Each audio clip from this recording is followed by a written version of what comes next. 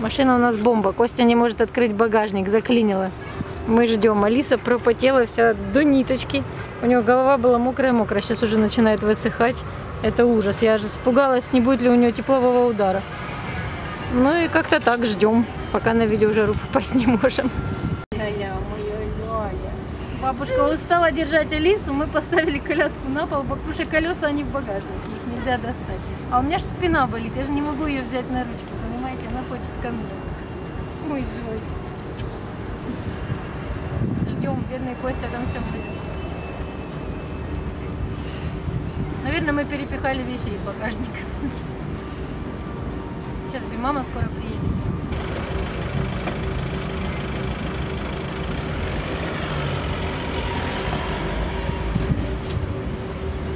Костя уже замучился.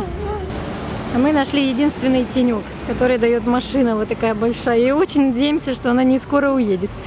Потому что реально хорошо, прохладно.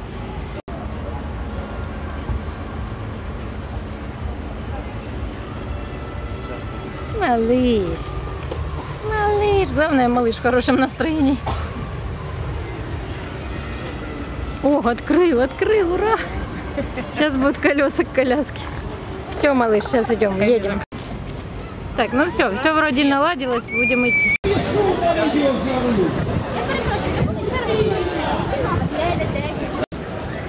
Нас уже пропустили. А людей очень медленно запускают. И мне позвонили Настя с Катей, что они уже идут. Очень жаркий день, получается, люди стоят, даже тени нет.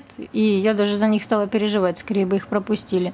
И тут увидела вдалеке, Настя с Катей уже с кем-то фотографируются, уже их узнали. Меня, кстати, тоже постоянно, где я не проходила, узнавали, со мной фотографировались. И вот посмотрите на чемоданы. Катин вы видели, а Настя себе купила красный чемодан и больше, чем у Кати. Я тоже Кате говорила, купи себе большой. Она говорит, нет, с ним неудобно, зачем, мне такого хватит. Ну, тут я больше одобряю Настин выбор. Классно, что они вот так на колесиках ездят. В общем, чемоданы суперские. Ну что, пришла наша поступившая. И мы отправились на видеожару. Что собой представляет видеожара? Это фестиваль. Вот здесь такая, как можно сказать, ярмарка организовывалась, раскладывали всякие товары. И мы пошли, искали, где покормить Алису. Мне пришлось там спрятаться в уголке возле туалета, ее кормить. И мы надели футболки с надписями.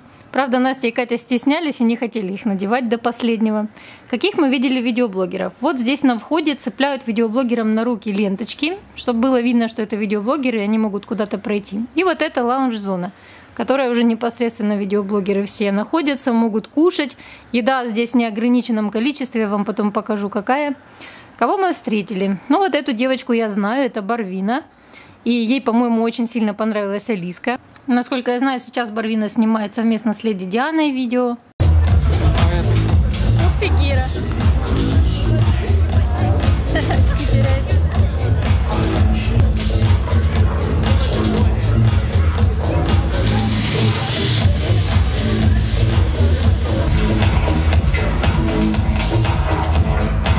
Оказалось, в блогерском лаунже есть своя сцена, и войти туда могут только лишь блогеры, крупные блогеры, у которых есть доступ на руки. Кстати, вот мы встретили еще одного человека, которого мы знаем. Лично мы с ним не встречались ни разу до этого, он мне очень понравился. Замечательный характер, у него вообще классные видео очень на канале. Называется канал Видео Baby, и он там со своей дочкой читает рэп, очень круто.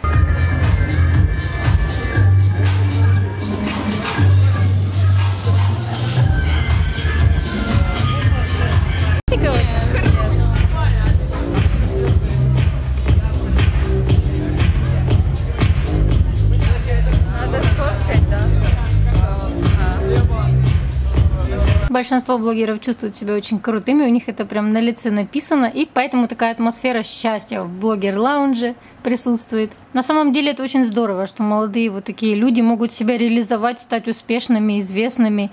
Раньше такой возможности не было. Раньше только на телевидение можно было пробиться. А теперь YouTube дал нам всем такой шанс создать собственное телевидение. А вот и я, Нина, канал Свинки Шоу. Снимает очень качественные видео про морских свинок. Алису увидела впервые сегодня. Привет. Меня зовут Янина. Янина живет в Киеве И иногда она приезжает в Черкас, и мы вместе с Викторией с ней встречаемся. Это Таня Волкова, очень симпатичная молодая девушка, у нее канал «Миллионник». Очень искренне рады нас были увидеть Голчата ТВ. Они предложили вообще встретиться всем пэтс-блогерам вместе. Потом, после видео жары, когда-нибудь, мы обменялись контактами. Они тоже претендовали на блогосферу, то есть были мы, Голчата ТВ и еще кто-то, и мы выиграли. Ну, о нашей победе я расскажу чуть позже. Давайте все по порядку. Сначала мы пошли на красную дорожку. В самом начале видео жары все, все блогеры выходят по красной дорожке. Кстати, придумала эту дорожку Би Мама когда-то. Она работала в компании Air, или Air, как правильно. И она лично придумала эту дорожку. И вот мы стоим, ждем своего выхода. Это очень волнительно, очень страшно выходить на огромную публику. И тут смотрим, идет Би Мама.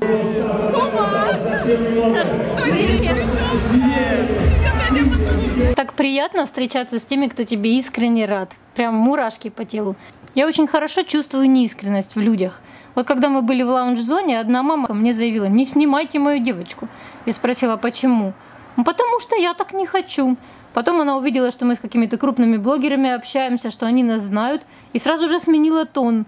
А потом еще и увидела у нас блогосферу в руках и сказала, ой, у вас же такой классный канал, он суперский. Она, наверное, подумала, а может быть они известные, а может быть это канал Миллионник, а может быть с их помощью можно пиариться.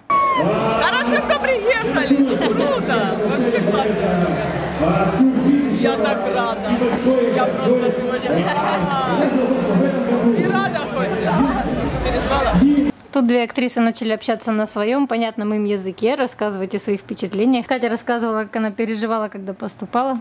Настало время выходить на красную дорожку. Сердце бешено билось.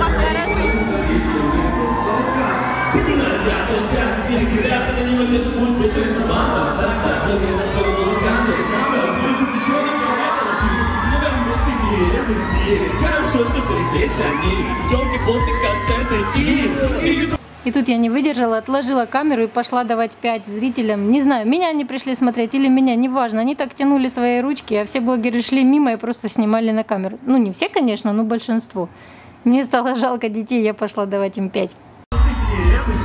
Хорошо, что все здесь они Темки, плотных концерты и... И иду, конечно, тоже видео жара Пожарный тортик Смотрите, сколько подписчиков пришло на видеожару в первый день.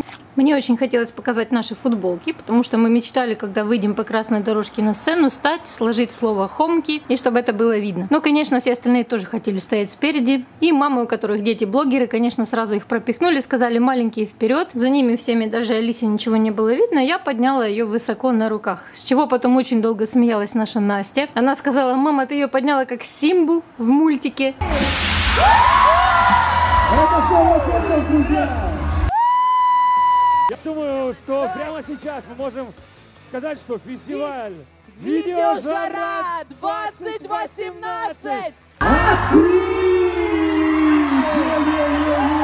Е-е-е-е! У! Поддержка!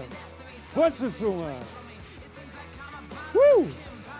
Блогеры, пошумите Блогеры, тоже, мы вас не слышим! Потом мы ушли со сцены и опять отправились в блогерский лаунж. Там нас предложили нарисовать карикатурщик. Сначала меня с Костей и Алисой, а потом и Настю с Катей. Алису приходилось развлекать, чтобы она смотрела вперед, потому что художнику, чтобы нарисовать лицо человека, нужно, чтобы он смотрел вперед, чтобы были видны как-то черты правильно. Алиса так миленько получилась. После Алису рисовали Костю. Мы-то не видели, что получается. Девочки видели, Настя хохотала. Но, как говорится, смеется тот, кто смеется последним. Ведь потом рисовали Настю и Катю, и у нас тоже был повод посмеяться. А меня, как мне показалось, изобразили какой-то слишком злой. Мне кажется, я в жизни намного добродушнее. Нет, я понимаю, конечно, что это карикатура, что мы все на себя как бы не похожи, но моя суть – это доброта, а я получилась какая-то сердитая. Настя начала надо мной прикалываться, говорит, это твоя суть, это твоя суть. Дескать, не такая я и добрая в жизни.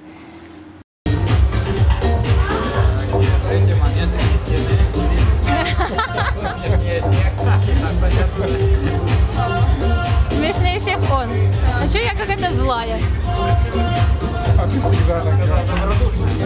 Я сначала обиделась на Настю с Костей за такие шутки, но потом у меня появился повод дать Насте почувствовать себя на моем месте, потому что ее нарисовали такой в итоге какой-то хладнокровной, стервозной даже как бы. Она еще сама посмотрела и сказала, что я тут на стерву похожа. А я ей тогда сказала, ну, это, наверное, твоя внутренняя сущность. Так же, как она мне. Она, конечно, засмеялась, поняла, что это возвратка. В этот момент на видеожару пришел Дима Солярчин, подошел ко мне, сам сказал, мы вас узнали, здравствуйте, мы тоже вас смотрим иногда. Мне было очень приятно. Реально, это парень, который вообще не зазвездился. Он простой, показывает на канале все как есть в жизни, поэтому я люблю смотреть его канал. Еще очень много о видеожаре я вам расскажу в следующем влоге. Как видите, мы там встретили даже певца известного, знаменитого. А также я расскажу об одной неловкой ситуации, которая произошла со мной на видеожаре. До встречи, до следующих влогов.